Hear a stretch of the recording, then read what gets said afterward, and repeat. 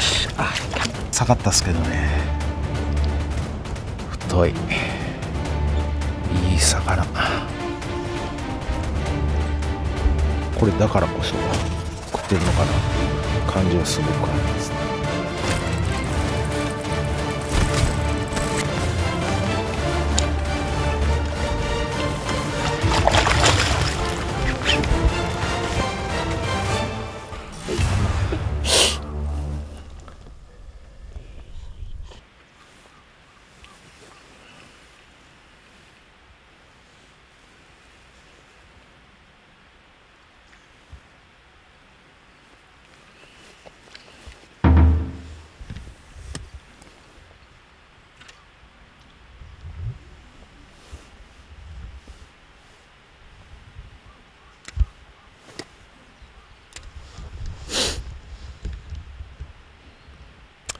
いんで時間かかりますよねここって。探るのが。感じ的にはどれぐらいまで落としてる感じ？もうボトムまではとりあえず行く感じですね。今で7メーターなんで。一応下から上げていく？いや上から上からですね基本。まだちょっと上はだいぶ切り捨ててますけど今のところ。朝やっぱ寒いんであんまりこう上にかぶさってるものがないとあんまり浮かないですよね。日中温まってくると多分浮いてくると思うんですけど。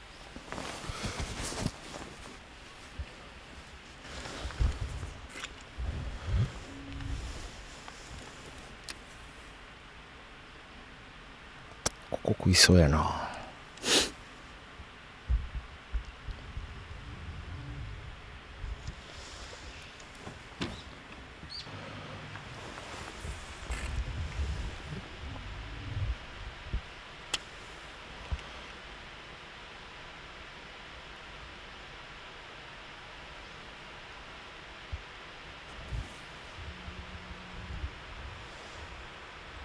あ食った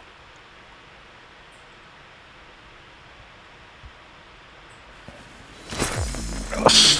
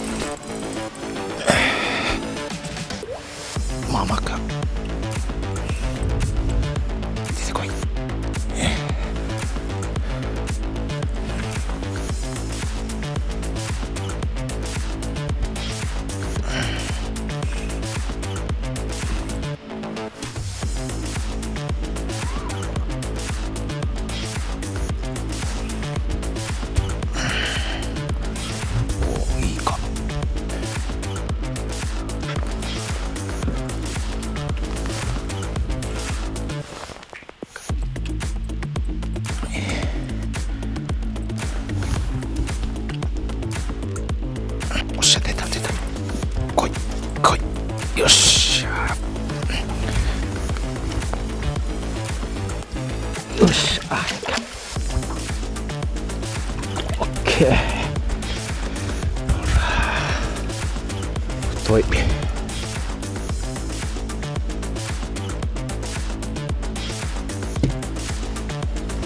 えー、腰とこれで食った。食ったとこは下がったっすけどね。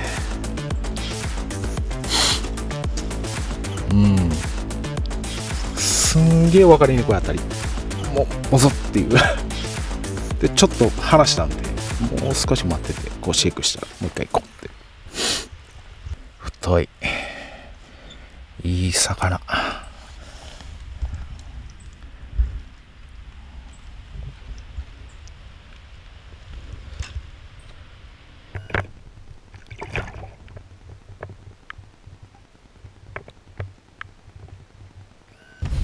よし。いいじゃねえか。いいじゃねえか。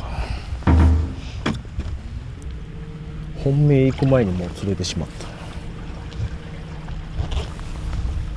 でもあのあの景色の中に緑があるじゃないですか、うん。あれ好きっすね。あの葉っぱは好きよ。好きっすね。葉っぱはほんま好き。大抵あの中入れたらバイトあったんで。このマスで何？10号ぐらいある？今10ですね。銃でちょっと下にブッシュが。ちょっとこう張り出してるんですかね。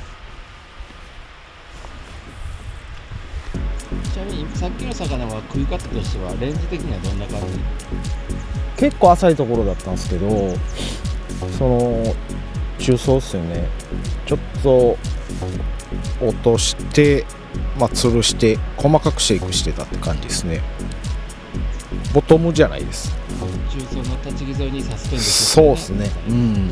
あの下にまだこうブッシュが沈んでるんで、まあ、その中にいたやつが多分こう浮いてきて食ったって感じですね。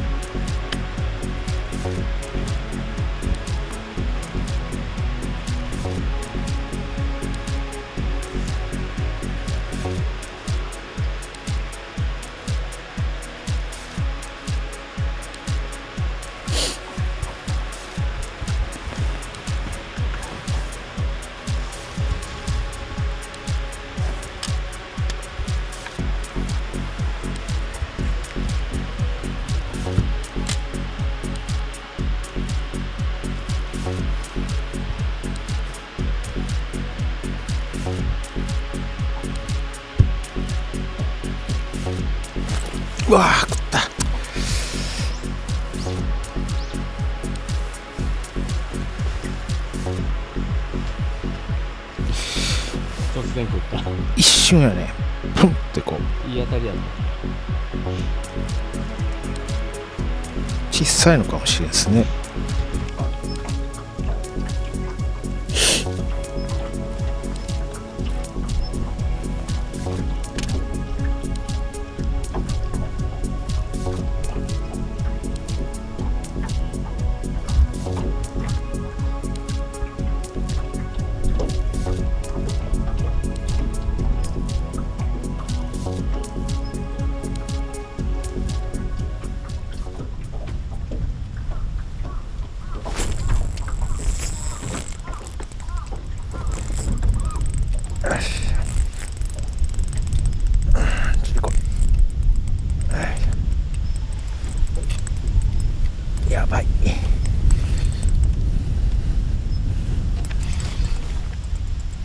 あ化けたんじゃんうわ化けた。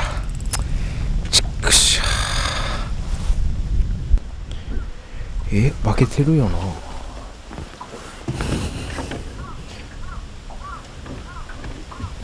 風がうさいも。うちょっとこう風が当たってるあのバラの先端に入れてたんですけど。当たりがもう分からなかったですとりあえず。ほとんどこうパクってやって押さえるぐらいしか微妙すぎて。まあ欠けてはいるんですけどね。多分こういう細身のワームじゃないと多分かからないぐらいの微妙さですね。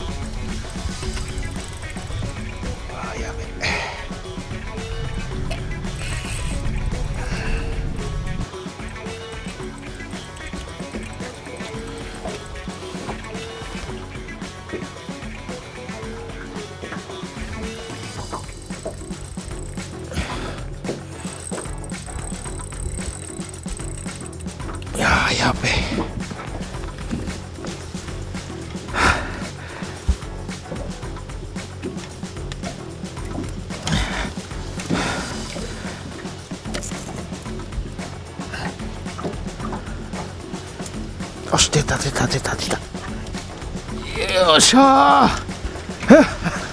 よっしゃー。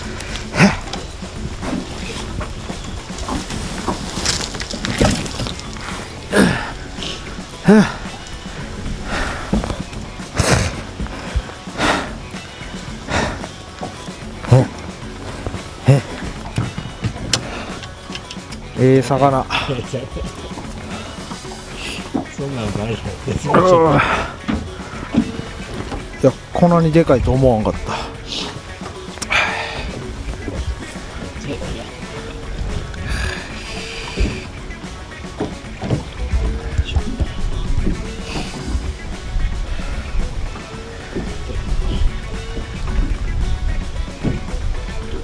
せられ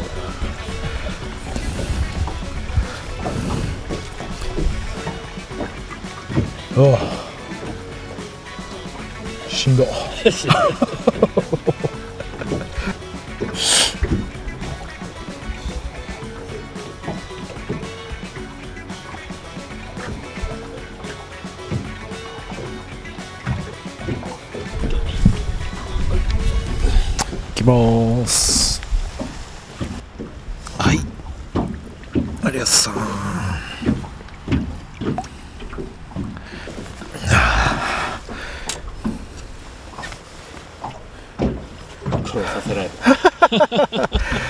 死ぬ。死ぬあのランディング。クモさおらなかったら取れてないですあれ。風が当たるあのー岬のカバーのもう本当に中層ですね。2メーターぐらいのところにもう吊るして水深で言ったら大体えーっとさっきのが7メーターぐらいある。岬の、まあ、2メーターぐらいで吊るしてずっとシェイクして。結構長めでしたけどね。まあそれでももう当たり微妙でしたね。まあなんとかあのーこういうコンパクトサイズだから取れた魚かもしれないですね。まあいいところかかってたしね。あたふたしましたけど。ああいう魚絶対こうテキサスとかジブとかストーンと落としても食わないですよねあれだけ浮いてて長い時間誘わないと食わないんで。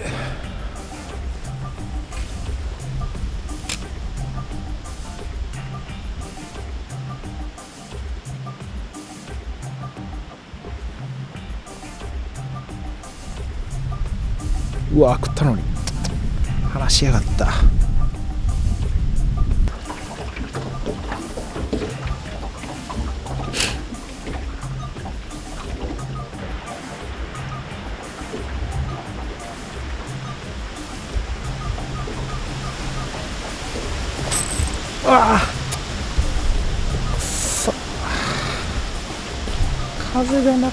からもう余裕でかけれとんのに。引っ張られたんで話がなかんにいや枝に枝に引っかかっとったんですよね手前の。いやもうこの風どうにかして。釣りにならへん 地獄みたいに見てる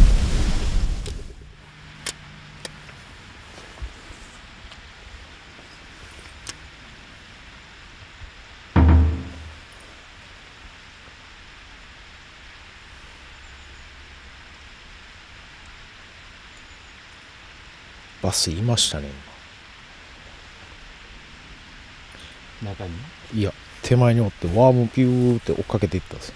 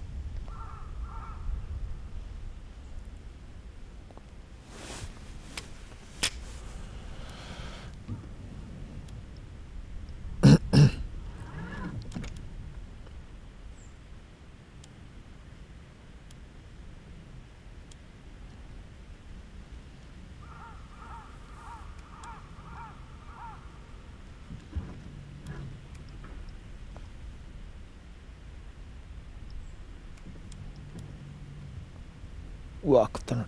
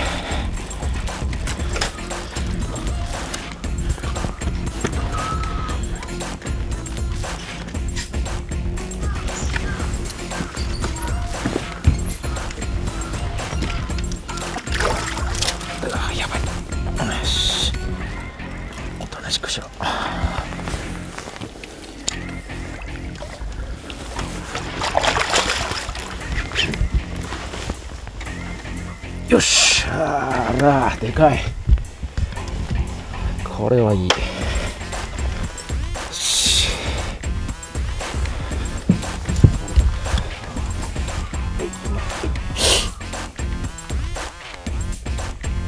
すんげえロングシェイクでし。たしかもこのカバーの一番深いところ。一回こう前あたりふってこう。その後ずっとまだ誘ったらゴンっていう。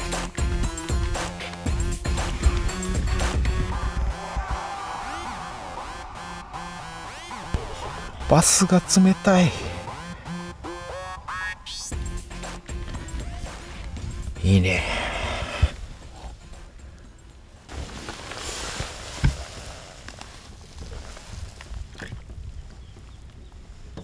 はいありがとうえらい下行きましたねあー冷たい。手が冷たい。ちょっとやっぱりあのー朝一ってことで魚ちょっと浮いてないかなっていう感じなんであのああいうブッシュの根元の一番深いところですね。まあ順番にこう吊るしながら落としていってるんですけども最後着底ギリギリぐらいのところでもうロングシェイクったって感じ。です、まあ、やっぱりこのサイズ感じゃないとちょっと食わしきれないっていうかまあ季節もやっぱり2月なんで。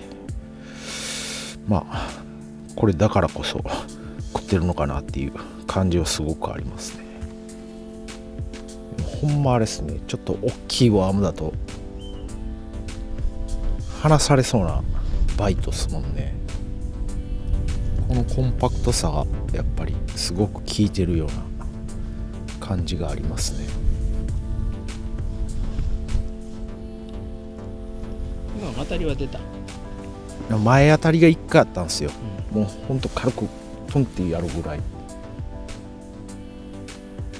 で1回多分当たったって言ったと思うんですけど、もうその後こう誘ってたらもう1回食ったんで。な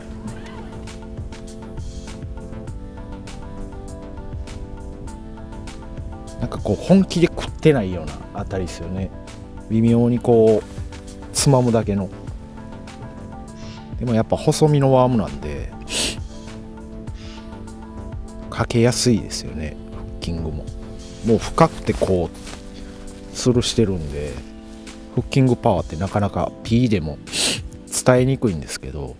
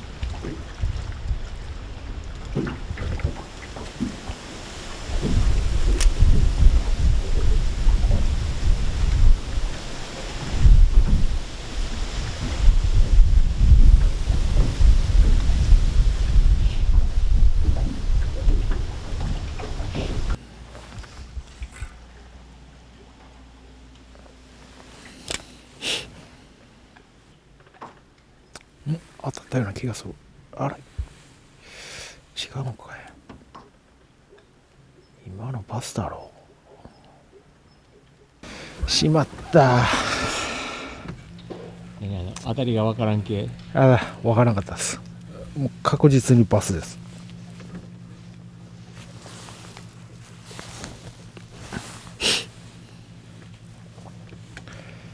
ちくしょうでもなんか浮いてないっすね。完全ボトムっすも。ん一回そこに落としてそこでずっとシェイクして。この辺はなんかおりそうやね。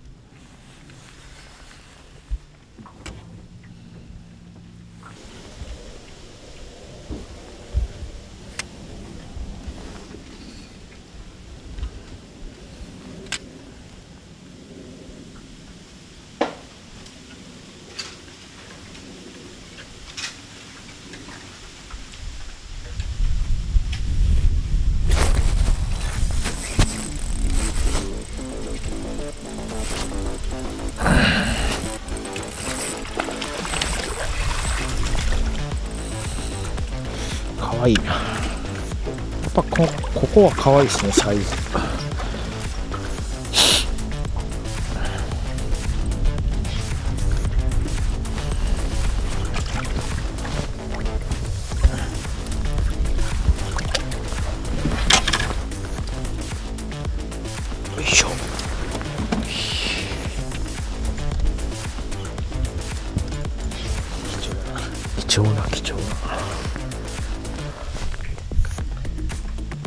それはしっかり。ん？それはしっかり。いや全然。もって感じですボトムうんボトムですね。完全に。なんかもう今日全然浮いてないです。そうですね。一番ボトムで吊るして